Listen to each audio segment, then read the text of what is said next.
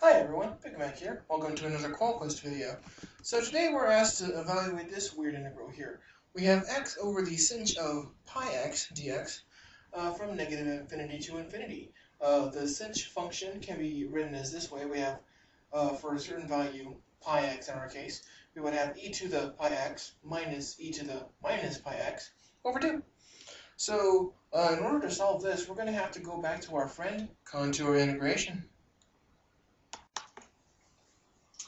Alright, so following our uh, typical contour integration techniques, uh, we have to find our poles, find the residues of our poles, and then work from there. So in the case of sinh pi z going into the complex plane, we need to find where pi or sinh of pi z is equal to 0. Again, we can split it into our Cartesian coordinates, x plus yi. Uh, when you do a sum of two things inside of the sinh, it's very much like you would if you were doing, uh, you know, a sum of two things. So you have sinh of one plus the cosh of the other plus the cosh of the first times the sinh of the second. Um, here we have cosh of y pi i, uh, which is actually the same as the cosine of y pi. And the sinh of y pi i is i times the sin, the sine of y pi. Um, might be plus or minus, I forget. But anyway, we want that we want both the real and the imaginary parts equal zero. Um, one thing we know is that the cosh function never is zero. Its minimum value is one. So we need to then set our sine of y pi to zero, which then means that y can be any number, any uh, natural number or any integer, really. So that's going to be a problem. But then the other case is we need a real part to be 0. So cosine of some integer pi is going to be plus or minus 1. So that can't be 0. So then our sinh has to be 0. And fortunately for us, it's only at one point x equals 0. Uh, looking over here at our complex graph, we are going to have the entire imaginary axis lined up with these poles at each uh, integer point. So how are we going to do a contour path? I mean, normally we want to do like a nice semicircular path, but that would include taking every residue up to infinity. So we're going to have to try something a little different. So here is a rough sketch of the path that we are going to take. Uh, basically, we're going to do this weird box function. Sorry, I'm trying to keep it as level as possible. Uh, basically, we're going to start here at the point negative r0 uh, go counterclockwise. We're going to actually go around the residue at 0, uh, continue on the real axis, uh, go up to point R, then go up the imaginary axis to until uh, our imaginary component is 1. So up here our general equation would be z equals x plus i. Then we're going to go left, uh, go around this other residue again, then left more, and back down to our original spot. Um, in doing this, we're then going to have to take a limit as r goes to infinity. That way we get our negative infinity to infinity integral.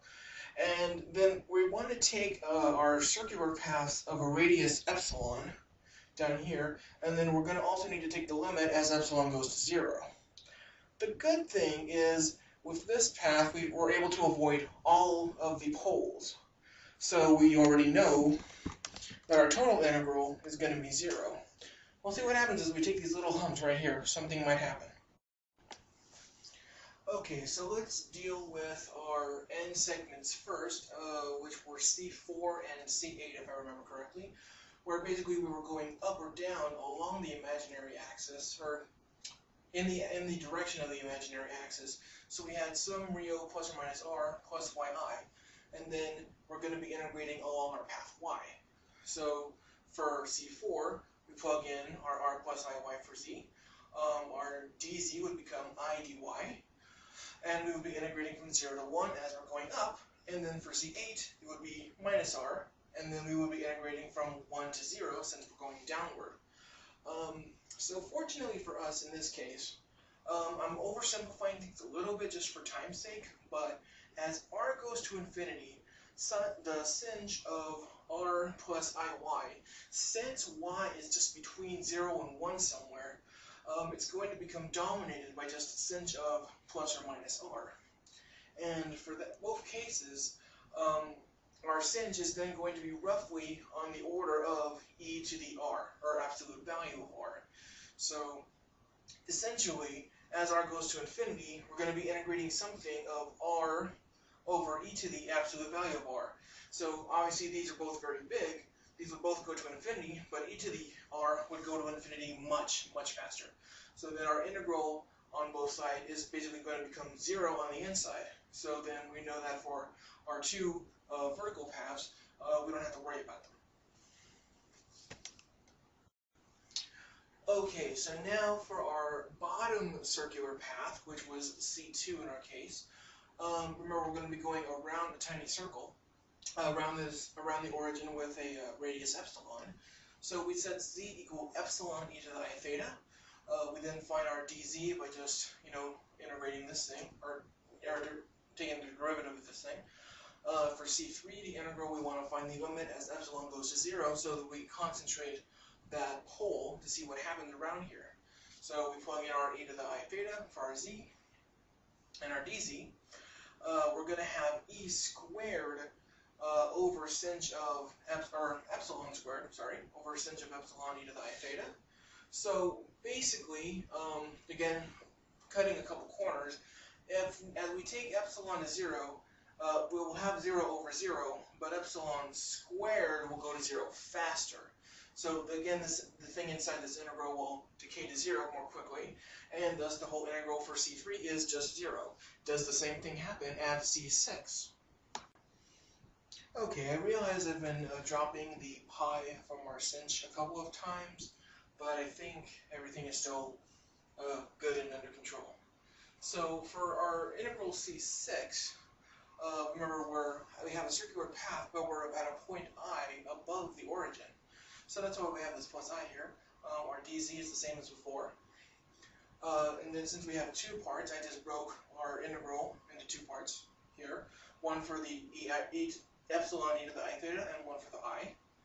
Um, if you'll notice, we have, again up here we have epsilon squared e to the 2 i theta over sinh of things. So like before, this half's going to go away which is good. Uh, again, remember the other thing is since our path went under the um, under the pole, our in, our direction is from zero to minus pi. Um, cleaning up terms a little bit more, you know, plugging in i plus e epsilon e to the i theta for our z. Um, we will get left the minus sinh of pi epsilon e to the i theta. So we now have a minus down here, and plus we have two i's, so i squared is minus 1, so those, those will both cancel out. Uh, going down here, we have our integral from 0 to minus pi.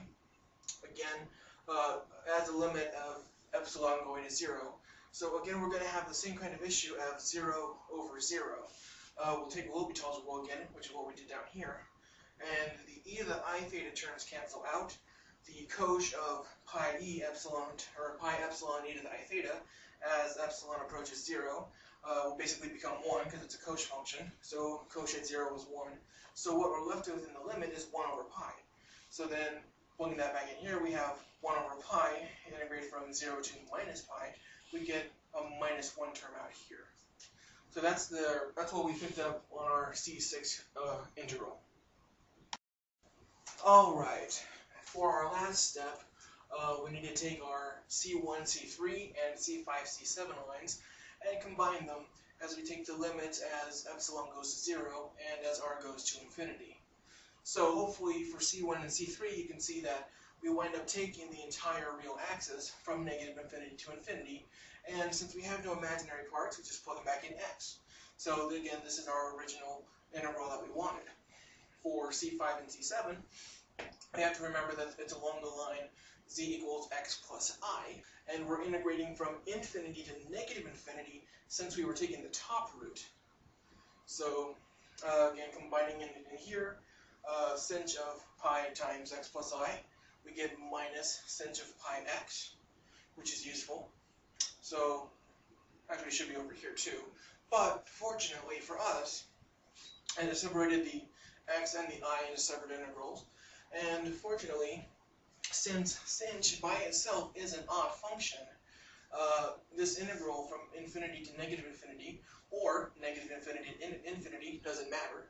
The integral is zero either way because it's an odd function. So we don't have to worry about that. And if we, since we have a negative out here, let's just flip the order of integration. So that'll get rid of this negative. And again, we end up with the integral from negative infinity to infinity. So, after all of our terms are combined, what do we have? We have 2 times our integral, again, 1 from the C5, C7, and the original from C1, C3, minus 1 from our little loop around the point i is equal to 0, since we try to avoid all of our residues, or all of our poles. And thus, the integral by itself is just 1 half. Alright, uh, hopefully next time I'll get to do some other problems. Big Mac, see later.